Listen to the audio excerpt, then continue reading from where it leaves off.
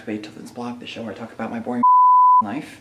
Um, and uh, as you can see, I got lunch, and uh, I will not be caught vlogging in school, nor will I be caught by anybody in the hallway. So this is regularly part of my routine. Get in the hallway as briefly as possible. Do not use the bathroom because I've got my head slammed into the wall there. And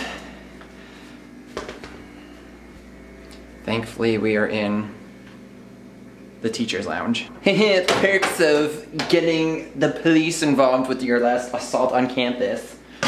Oh, gross. I just sounded like Tanamoto. Talk about problematic faves on YouTube. Look how disgusting the inside of the microwave is. I mean, I think the janitor just skips it on purpose. Notice I made cavatappi because, yet again, I had to eat alone.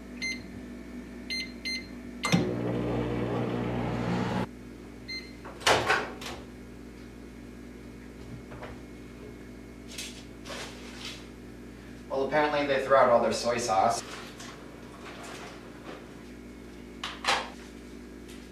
Settle for crushed red pepper then.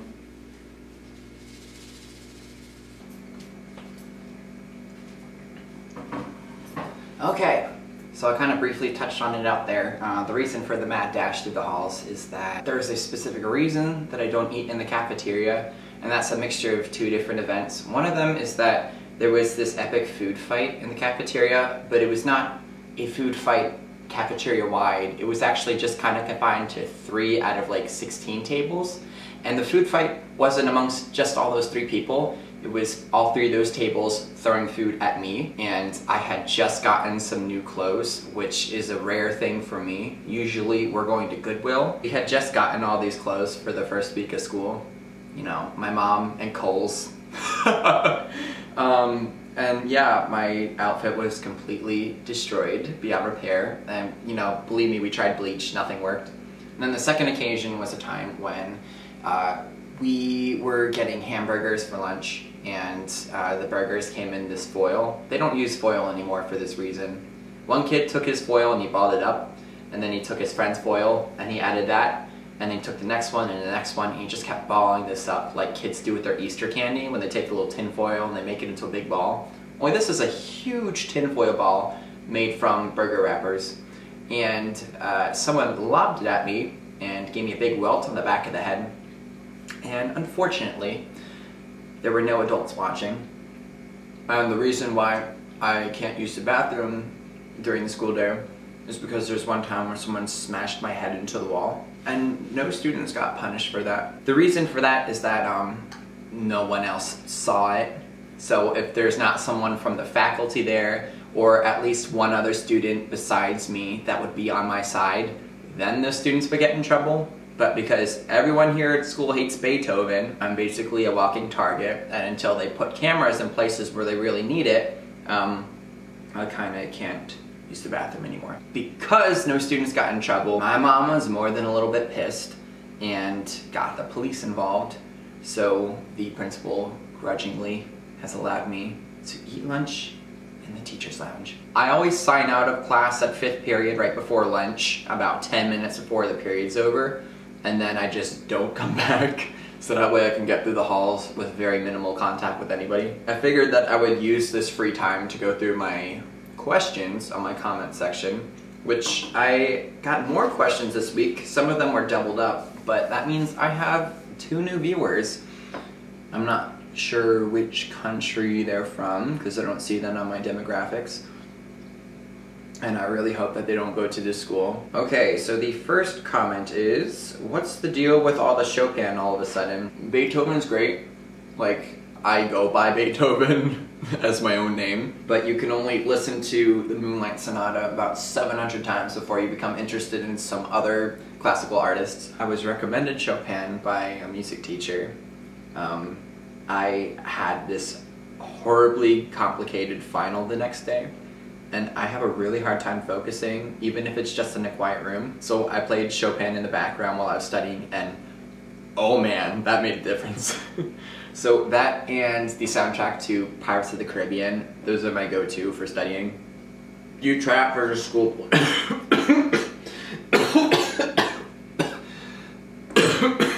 Sorry. That's a mix of cayenne pepper, and that question's hilarious. What do you think? um, no, I did not try out for a school play. What's your favorite class? Okay, so favorite class. Ironically and unironically, that would be chemistry. My chemistry class is taught by a guy called Mr. Baldwin, who he's 60 years old, and every single day, I don't know who picks out these ties for him. He picks the most god-awful ties. The first one was this wood tie, and it was kind of blocky, like if you imagine video game graphics. And then the next day he had this bolo tie, which, I mean, if you're about it, go ahead, you do you, but like. And then, oh, on that week he was on a roll. His last tie was like, if you can imagine like the Beanie Baby version of an alligator, but with like fishing wire around it, that literally looked like he was just wearing a Beanie Baby for a tie. And I always kind of like looking forward to seeing if he can top yesterday's disaster. And then there was this time where he made this bet with us that if we all got at least 80% on a midterm, that he was gonna do a cartwheel in class. And this guy is 60 years old, like white hair on the side of his head, no hair on the top of his head. Um, pretty sure he has arthritis. And we all got 80%. We were all prepared to kick Kevin's butt because he almost got 79. We all get 80%. He goes to do the cartwheel in class and he knocks over the projector. So um, Luckily, he didn't break a hip, he didn't break his projector, and we all got to see him do a cartwheel. Beethoven editing this is gonna love editing all this. And the last question is, why don't you talk to the principal about the boys, you stupid... Oh. So I'm not gonna say the last word there.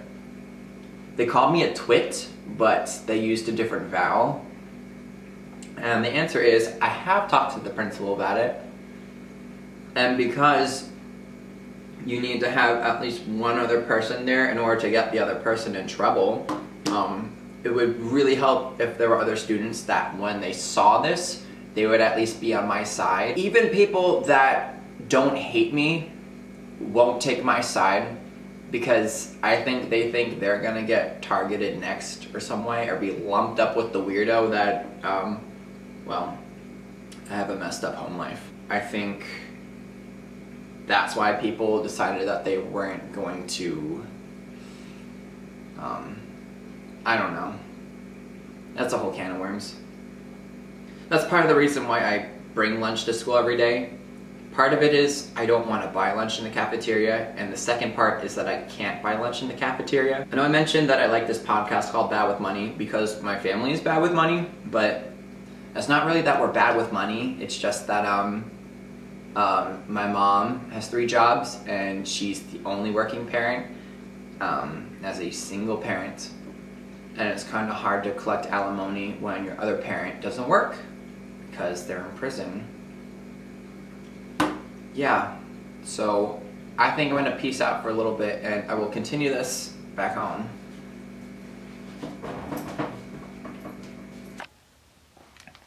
Oh god, oh god, oh god, okay, okay. Um, Hmm. So, uh, weird day at school. Really weird day at school. Um, it got really weird right after I left off in the, um, the uh, teacher's lounge. Um, okay. Well.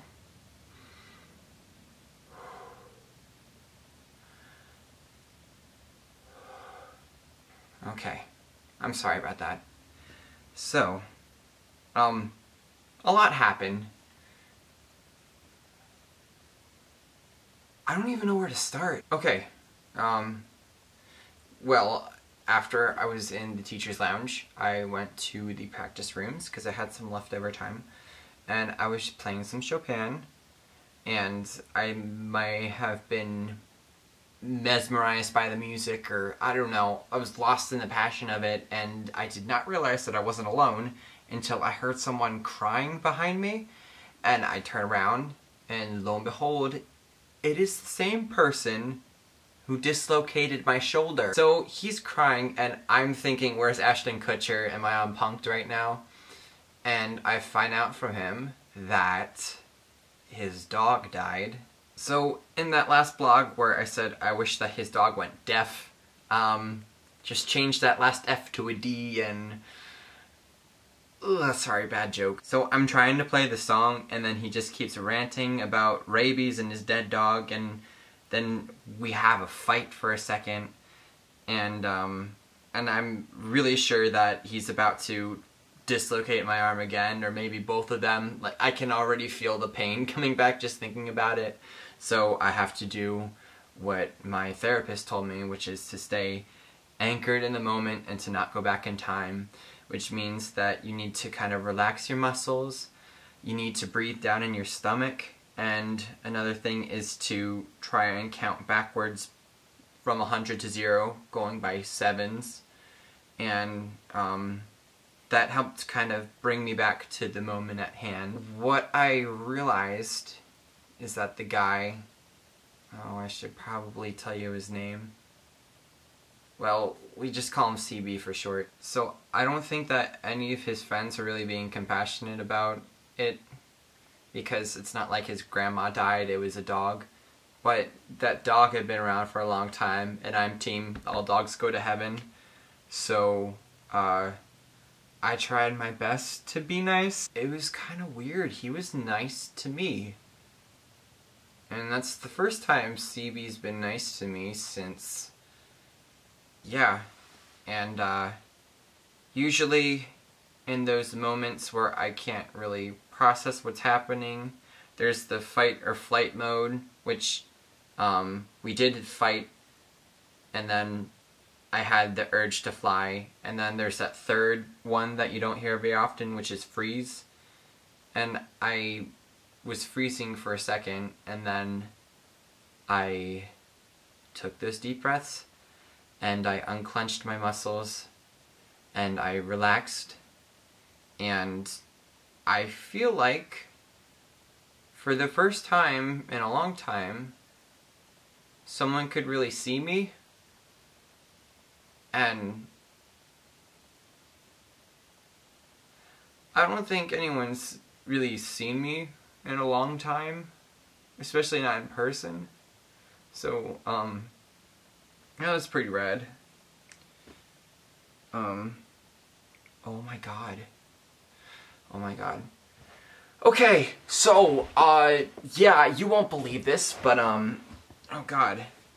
I, I may or may not have had my first kiss today as well. I'm not gonna say who with. All I can say is that it was very unexpected and I may have kissed that person back. I know, um, it's too soon to say on all that. In other news, um, I saw Platypus Girl yet again, and she invited me to this party hosted by people that I can't stand. The person that I kissed is probably going to be at this party, and I might go just to see what happens it could go so wrong. I should not go to this thing, and I probably won't, but maybe I will, so we'll see. The thing is with Platypus Girl, I mean, she's weird as shit, but I think I could probably use more allies than enemies right now. Maybe I should open myself up to friendship. I'm so sorry. That got too sweet. I actually forgot um, the quote of the day earlier, but uh, I looked one up on the way home. This quote is by Mark Twain. The dog is a gentleman.